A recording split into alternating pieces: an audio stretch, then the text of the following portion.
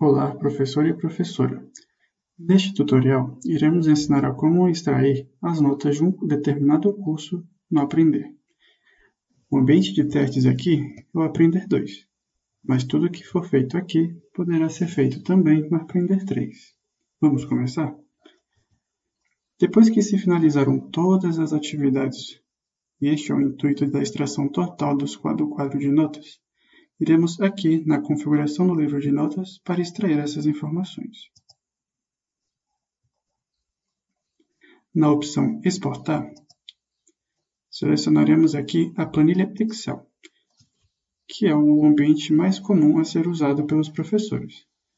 Mas caso você use Linux, por exemplo, você pode usar a planilha em .ods.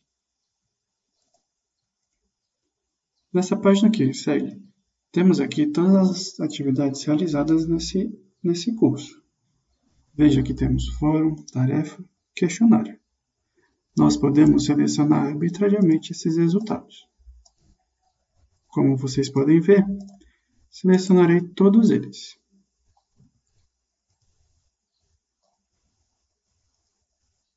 Há também outras configurações. Caso você queira excluir dessa planilha os usuários que estão suspensos, ou seja, aqueles que não estão mais acessando o curso, você pode habilitar clicando nesse quadrado. Depois que todas as configurações estiverem feitas, clicamos em exportar. Feito isso, iremos aos downloads do nosso computador e abriremos essa planilha. Veja que a planilha nos dá as seguintes informações: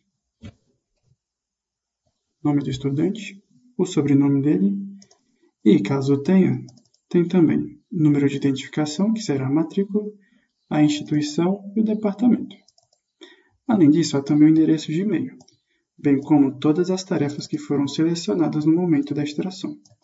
No caso, nós temos o fórum, a tarefa e o questionário bem como o total do curso.